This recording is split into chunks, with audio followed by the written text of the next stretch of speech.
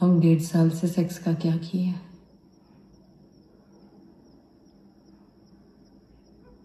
नहीं किए। ये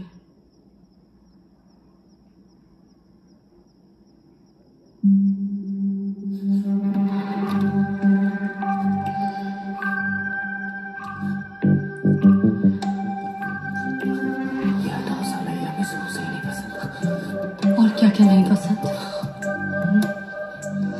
तो सारे कपड़े ही नहीं पसंद